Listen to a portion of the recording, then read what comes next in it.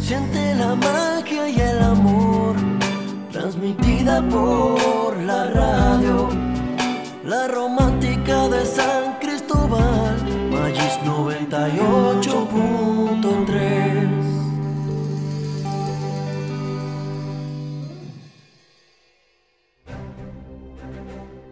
Presentamos Huellas, un programa dedicado a nuestros antiguos alumnos. Gracias por acompañarnos en esta nueva entrega de Huellas, el programa de los antiguos alumnos del Instituto Politécnico Loyola. El invitado que hoy nos acompaña llegó a este centro educativo con un objetivo muy particular, del que ya ustedes se enterarán en el desarrollo de este espacio. PELE significa para mí, bueno, mi primer lugar de aprendizaje formal. Permitió formarme no solo eh, como persona, sino como profesional. Huellas de nuestra institución. El significado de huellas viene dado como una marca o señal que deja el pie o la mano de un ser humano. Asimismo en la vida, vamos dejando una impronta que nos identifica, que nos reconoce en la medida en que nuestro camino se hace más largo. Hemos iniciado un proceso en busca de esas marcas que han dejado a su paso miles de personas con el sello del Instituto Politécnico Loyola. Trabajo, emprendimiento, innovación, servicio, a través de este programa, Huellas.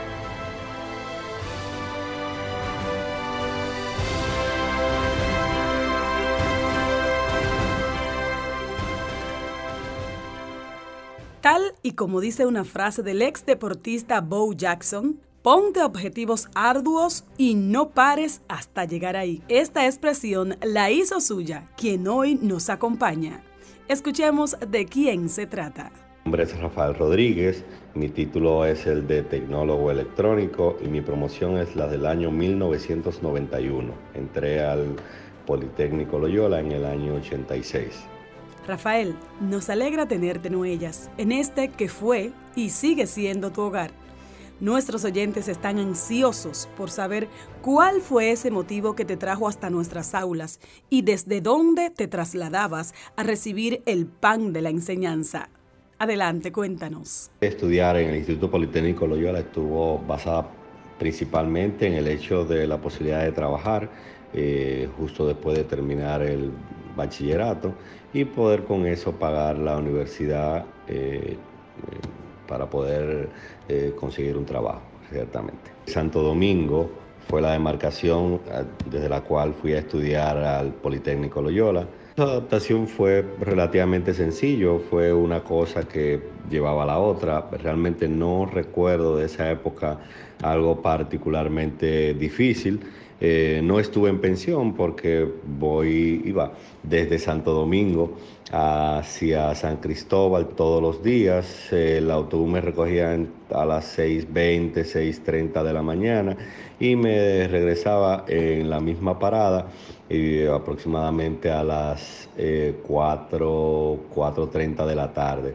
Eh, esa, en esa época. Hay lugares donde tenemos vivencias que nos enseñan para toda la vida en tu caso, ¿está el Instituto Politécnico Loyola dentro de esa categoría? PELE significa para mí, bueno, mi primer lugar de aprendizaje formal que me permitió formarme no solo eh, como persona, sino como profesional y que eh, me ha permitido seguir como norte una, eh, una formación apropiada desde mi punto de vista a, las condiciones cambiantes del mercado laboral, etc. ¿Cómo te comportabas tú dentro del aula? Y en las asignaciones, ¿cómo era tu rendimiento? Desde el principio fui un estudiante muy tranquilo y aplicado. En general no, eh, no era de los que buscaba problemas ni y era de los que eh, estaba siempre haciendo pues, las tareas a tiempo eh, y demás. Es, es, lo que recuerdo. Realmente no, eh, no siento que, haya sido súper travieso, incluso había muy pocos que eran, que eran traviesos en, esa época. Materias preferidas eran probablemente la física y aquellas materias relacionadas con electricidad y electrónica, porque para mí era todo un mundo nuevo eso y yo me, eh, mm, me encantaba eh, eso, descubrir cosas nuevas y, eran de las cosas que me gustaban realmente en esa época. Una materia que me resultó un poco dificultosa eh, fue cálculo, aunque fueron varios cálculos que dimos en esa época, pero probablemente reunirnos en grupos para estudiar y hacer como una especie de competencia sana entre nosotros, pues me ayudó bastante a superar la situación. Es muy agradable saber que no solo los conocimientos adquiridos en nuestras aulas te han servido para bien y han permanecido a través de los años, sino que también tu relación con compañeros de clases se volvió más sólida. Amplíanos más al respecto.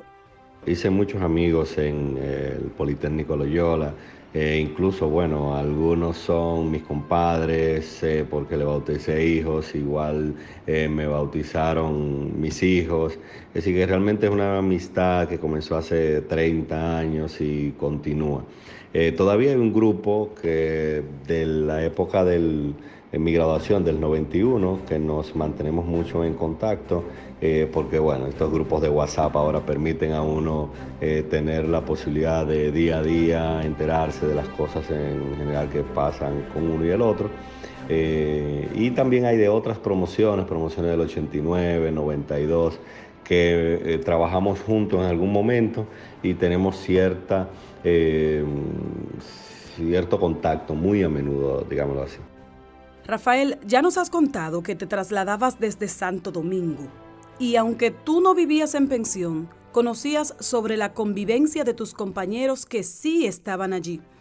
¿Qué opinión te merecen esos chicos que dejaban sus hogares para adaptarse a otros? Esos compañeros de la pensión, la verdad que para mí eran héroes y salir a esa edad eh, de sus casas, en los campos, e irse a pasar trabajo, porque la verdad que en las pensiones se pasaba mucho trabajo. Eh, eh, y, creo que, que, para mí fueron y son héroes todavía eh, por, todo lo que pasaron y, lograrse eh, graduar con, con, todas esas dificultades. La verdad que todos ellos para mí merecen un reconocimiento especial, diría yo. Vamos a retroceder unos años atrás a esos momentos de enseñanza-aprendizaje, con aquellos maestros que tenían la ardua tarea de transmitir los conocimientos. ¿A cuáles recuerdas? Muchos profesores que recuerdo con mucho cariño, entre ellos Cuello de Geografía e Historia, Luna de Electrónica, Marisol eh, Pereira de Metze de Química, el profesor Rafael Alcántara de Circuitos Eléctricos, Matos Pérez de Mecánica. La verdad es que cada quien tenía su, eh, su área de, conocimiento y pues trataba de que uno como joven pues fuéramos formados de la mejor manera. Y los recuerdo con mucho cariño a todos. Y en este momento nosotros hacemos una breve pausa. No le cambien porque al regresar conoceremos más sobre los años de estudios en IPL de Rafael Rodríguez. Estás escuchando Huellas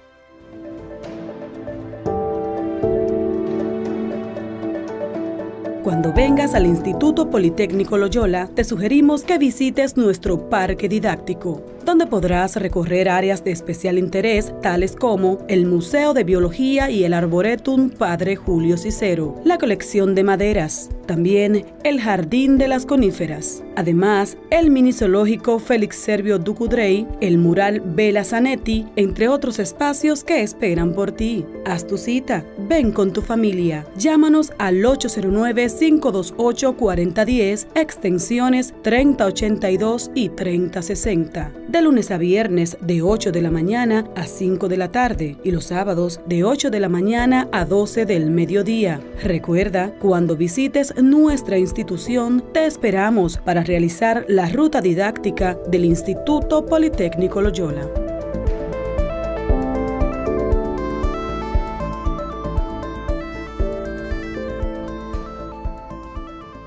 Estás escuchando Huellas Continuamos con ellas, el programa de los antiguos alumnos del Instituto Politécnico Loyola. Gracias por seguir ahí en sintonía. Nosotros continuamos conversando con Rafael Rodríguez, tecnólogo en electrónica del año 1991. Rafael, según nos cuentas, fue el deseo de crear cosas nuevas lo que te llevó a tomar la decisión de estudiar electrónica. Quería estudiar electrónica precisamente por eso, porque mm, eh, desde esa época me gustaba mucho el tema de la programación, la electrónica, eh, los circuitos, eh, cosas nuevas que uno podía crear con, con, con, la mente, plasmarlo en papel y luego llevarlo a a la realidad. Eso, eso eh, siempre despertó mi curiosidad y por esa razón pues terminé estudiando esa carrera. Entendiendo que no todo es color de rosa, nos gustaría saber si tuviste alguna dificultad que interfiriera con tu rendimiento académico mientras estudiaste en el IPL dificultad podría decir, bueno, en segundo, eh, a pesar de que primero yo pude pasarlo sin mayor inconveniente, en segundo ya me di cuenta que eh, una serie de libros y demás tenía que comprarlo. Era, era la época donde uno tenía que comprar libros, no como ahora que se alquilan o hasta se le sacan fotocopias. No sé, en esa época no pensé en sacarle fotocopias, pero eh, definitivamente eh, venía de un liceo y no tenía quizá la posibilidad de estar comprando los libros, así que eventualmente lo que hice fue pues tomar un crédito educativo que me permitió de segundo hasta quinto pues tener siempre los libros que yo necesitaba. Pero diría que ese fue el único eh, dificultad que pude haber tenido, el acceso, el acceso a los libros, porque al no estar en San Cristóbal todo el tiempo y tener que venir para Santo Domingo, yo tenía que tener los libros en mi casa, no podía estar haciendo un grupo de, de estudio ni demás eh, como pudieran hacerlo quizás los muchachos de, la pensión, etcétera. La formación que ofrece este centro educativo es muy diversa. Y es raro que alguien que estudia acá no participe en actividades como el ballet folclórico o el voluntariado. ¿Tú por qué no lo hiciste? No participé en actividades de ese tipo precisamente por el hecho de, eh, de mi ciclo, es decir, tener que levantarme a, probablemente a las 5 y 15, 5.30 de la mañana, hacer desayuno, caminar dos o tres kilómetros hacia la parada del autobús, de ahí llegar a San Cristóbal, estar el día entero, regresar y lo mismo de regreso, eh, de caminar y y demás, realmente eh, terminaba listo para comenzar a estudiar a las 6.30 quizá de la tarde eh, cada día. Era una situación, y en esa época se iba muchísimo la luz, había que aprovechar eh, la luz del sol probablemente de 6.30 a 8, siete y media de la noche, porque era muy probable que de 8 en adelante no iba a haber electricidad en la casa era, la realidad. Digamos que en actividades de ese tipo, como el folclórico, pastoral y voluntariado, un grupo de compañeros decidimos ponernos eh, en segundo a participar de eh, prácticas de béisbol. No sé por qué razón segundo, ya quizás estábamos acostumbrados y nos quedábamos unos cuantos días de, de la semana y entonces creo que era martes y jueves o lunes y miércoles, pues eh, practicamos eh, béisbol y bueno, recuerdo, no ganamos ninguna, ninguna premio ni medalla, pero sí recuerdo que jugábamos eh, en, el grupo y teníamos la oportunidad de, practicar. No fue muy bueno en eso, pero, pero eso fue algo que hice en esa época. Realmente era una sola actividad Em, así que no me obstaculizaba mucho eh, con relación al tiempo de estudio y el tiempo de estudio definitivamente tenía que ser o en el autobús camino para Santo Domingo eh, o eh, ya en la casa mientras hubiera electricidad, porque la verdad que esas épocas del 87 al 91 hubo unos eh, problemas de electricidad fuertes eh, en, el país y no había prácticamente en los barrios electricidad. Nos has dicho que hiciste el intento con el béisbol.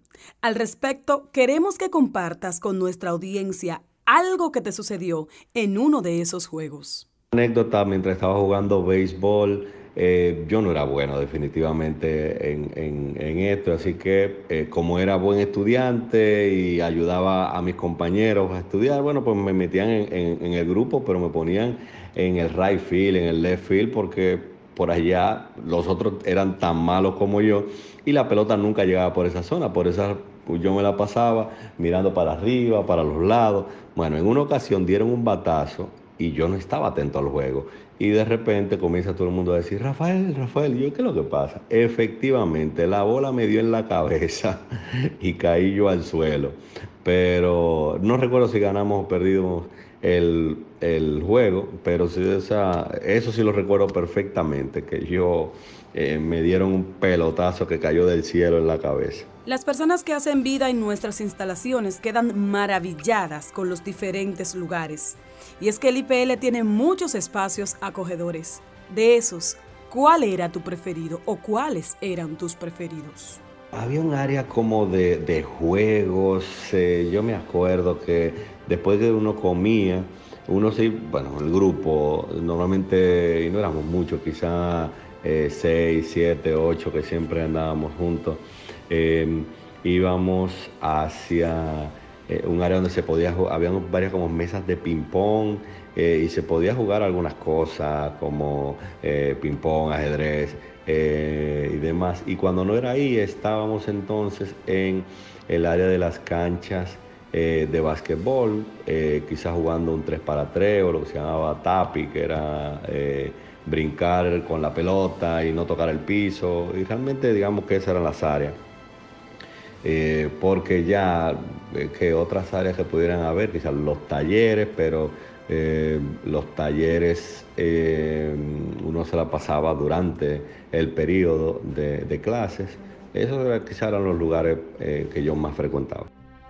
Estás escuchando Huellas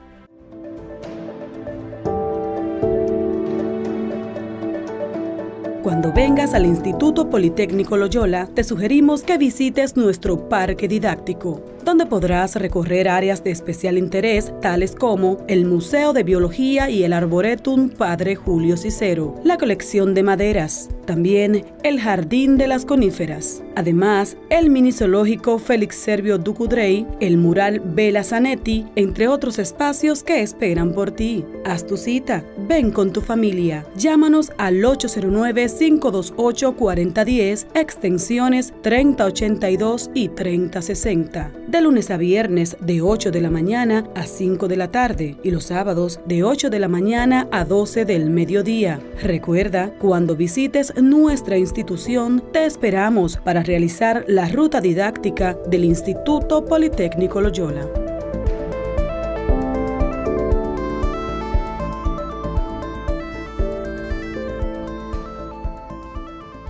Estás escuchando Huellas.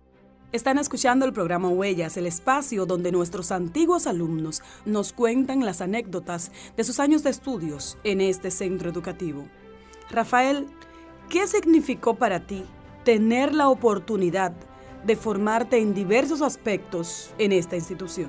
Para mí significó definitivamente eh, una enorme oportunidad, eh, eh, la posibilidad de, formarme técnicamente, profesionalmente y también con una serie de valores que mantengo hasta el día de hoy. La verdad que el IPL para mí eh, fue más que mi alma mater, mi casa matriz, eh, donde yo, eh, incluso luego de haber estudiado en muchísimos otros sitios, pues los recuerdo con, con mucho cariño toda esa época en la que estuve allá. ¿Hay alguna razón particular por la que volverías a estudiar acá? La realidad es que la cantidad de oportunidades y puertas que a mí se me han abierto a lo largo de los años, yo voy a ser muy honesto, no creo que, que Mm, que se me hubieran abierto si yo no hubiera estudiado en el Politécnico Loyola. Realmente eh, es una institución con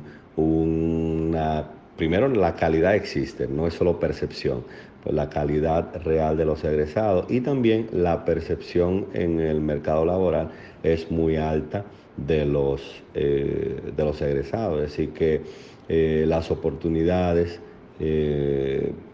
estaban ahí y fueron aprovechadas a la medida que iba avanzando, pero entiendo que muchas de esas oportunidades ni remotamente se me hubieran dado si yo no hubiera estudiado en el Politécnico. El mundo es muy cambiante. Lo que hoy se hace de una forma puede que mañana sea totalmente diferente. ¿Cuál es tu opinión sobre las diferencias de recursos de la época en que estudiaste y el tiempo actual?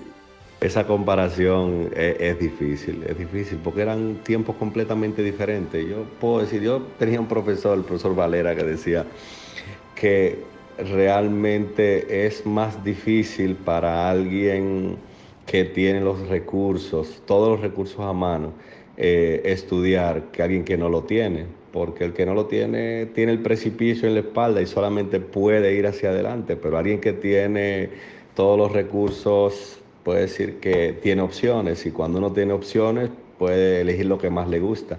Digamos que en resumen. Pero la verdad que esa, esa época era muy difícil. Es decir, eh, mira mi caso, es decir, yo no creo que sea un caso único del grupo entero de, los que nos graduamos, de cerca de los 80 que nos graduamos, pero eh, venía de un barrio, de estudiar en, una, en un liceo, eh, caminar todos los días tres kilómetros, montarse un autobús que se quedaba por lo menos tres veces cada 15 días, por ejemplo, un autobús del Loyola del año 50, reparados, ahora que hay vehículos nuevos eh, eh, y probablemente hasta con aire acondicionado.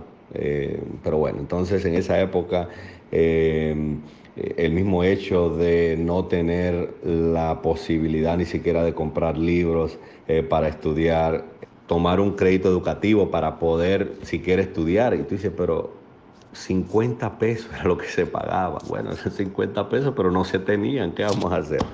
Eh, y también los libros, que tampoco eran exageradamente caros. Bueno, ahora lamentablemente todo el acceso a internet, de, de buscar información, para mí, pero Dios mío, todo está al alcance de la mano, todo está. Yo creo que ah, deberían ser genios. Einstein, quizá como decía ese profesor Valera, lamentablemente el ser humano funciona quizá de una manera diferente, donde los obstáculos y los problemas son los que le permiten avanzar en la vida. Quizá tener pocos obstáculos es eh, eh, a veces mm, limita a las personas. No sé, bien, pensando en retrospectiva, eso es lo que pienso. Terminas en Loyola como tecnólogo y pasas a estudiar administración. ¿Por qué ese cambio y cómo pudiste integrar esos conocimientos?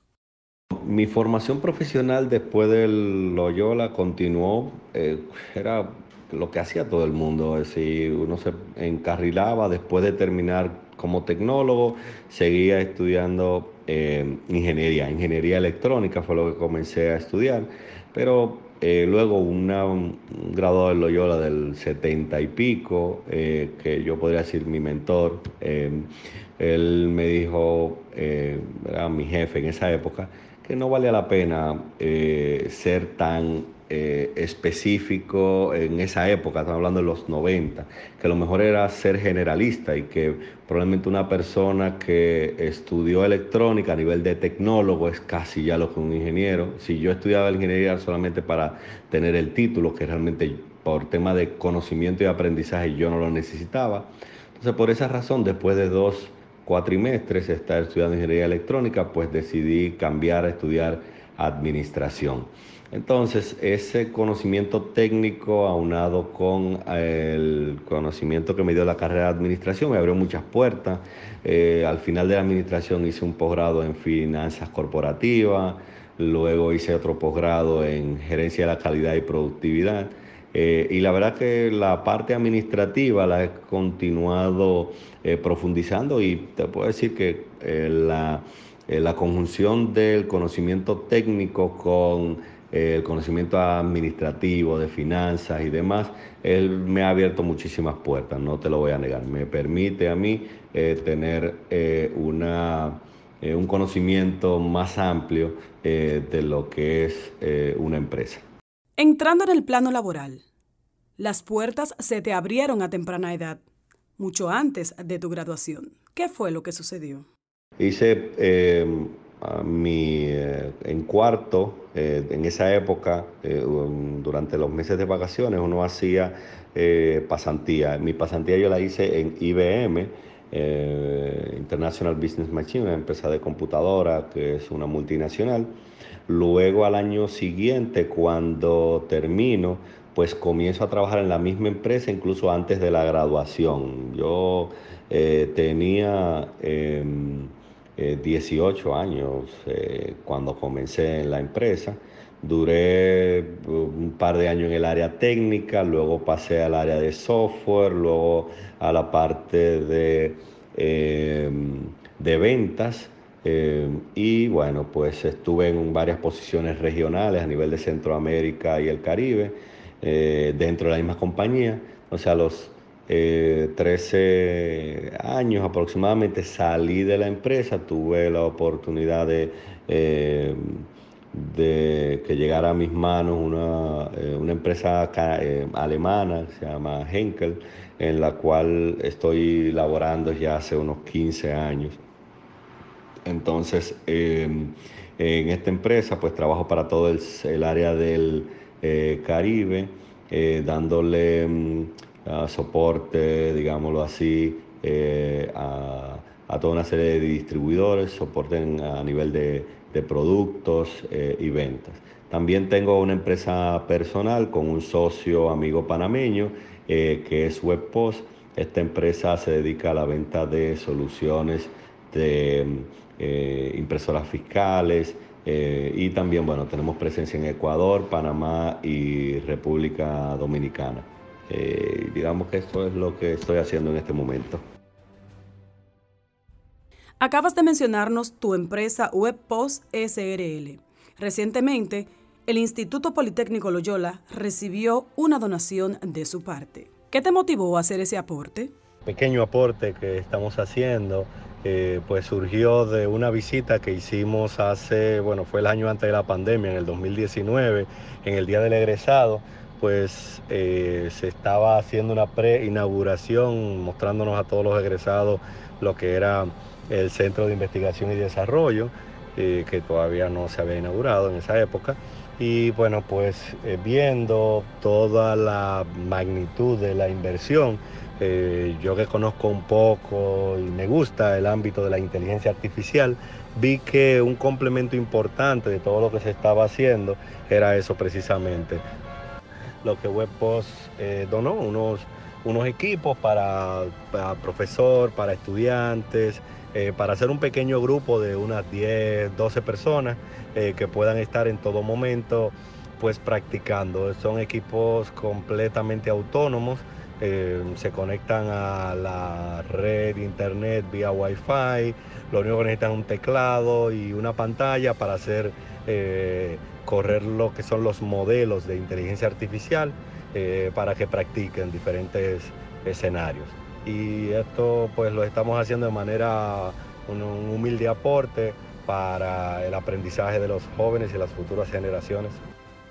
Pausamos nuevamente. Al regresar, seguiremos conversando con Rafael Rodríguez, antiguo alumno del Instituto Politécnico Loyola. Estás escuchando Huellas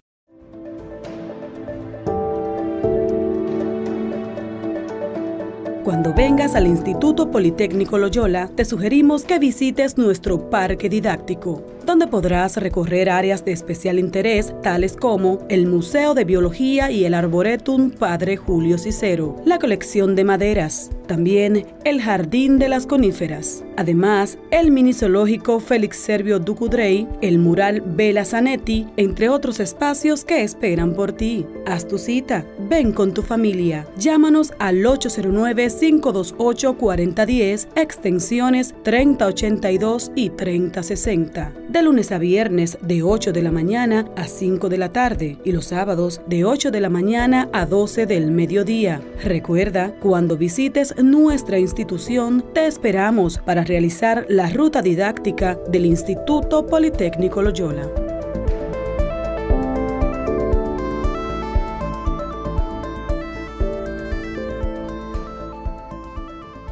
Estás escuchando Huellas No cambiaste el dial de tu radio y eso es señal de que tomarás muchas cosas buenas de esta entrega de huellas, donde tenemos como invitado a Rafael Rodríguez, egresado como tecnólogo en electrónica de la promoción 1991.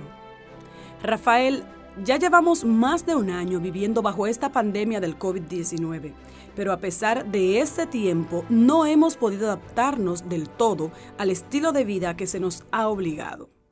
¿Tú cómo has manejado la situación con lo que aprendiste en Loyola? Efectivamente, lo aprendido en el Politécnico Loyola durante esta pandemia, eh, pues me ha servido de mucho en el sentido de que he tenido que adaptarme a nuevas situaciones, eh, los cambios eh, y encontrar siempre la forma de cómo hacer las cosas a pesar de las dificultades. definitivamente lo que ha pasado en el último año, año y medio es algo extraordinario que nuestra época no se ha vivido, quizá la última vez, pues la Segunda Guerra Mundial o la Primera o la fiebre española, pero nuestra generación no ha vivido algo de esta magnitud. Eh, y hay mucha gente que se ha frisado, pero eh, las oportunidades siempre existen y están ahí frente a, nuestros ojos.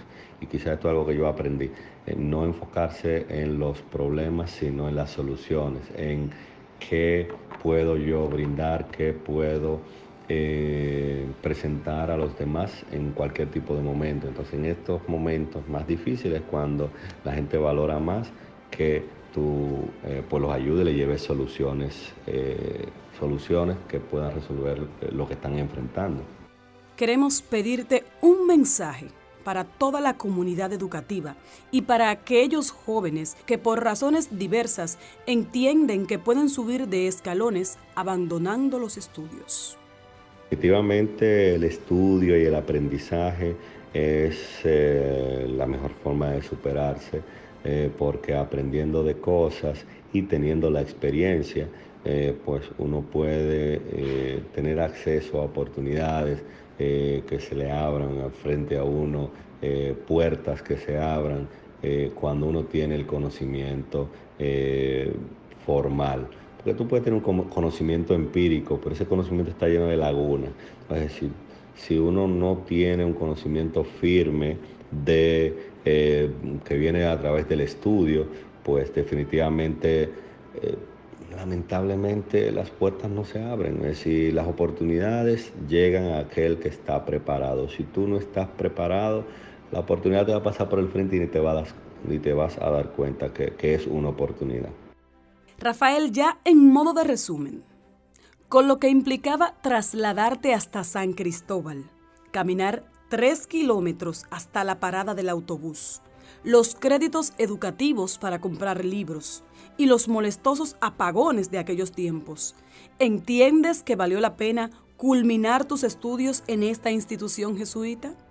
Claro, valió la pena, no solamente a nivel personal con los amigos que tengo de esa época de 30, 35 años, sino eh, a nivel laboral eh, eh, y, de, y de progreso en la vida, definitivamente, claro que sí que valió la pena.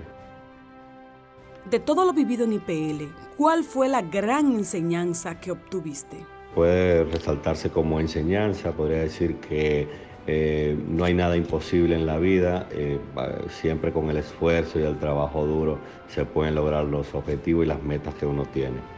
Rafael, no nos queda más que agradecerte por haber estado en Huellas, permitiendo así que tu historia traspase fronteras y sirva de inspiración para muchas personas. Muchas gracias por haberme invitado a este programa Huellas. Realmente para mí eh, fue una maravillosa oportunidad de recordar esos años, de, estamos hablando de 30 y, hace 35 años, es decir, experiencias que eh, quizá eh, no las hablo en mi familia, no las hablo a veces con, con mis amigos, eh, pero tuve la oportunidad como de rememorar todo eso y transportarme a, ese momento, a esos años y, y, la verdad que disfruté mucho, así que muchas gracias por la invitación.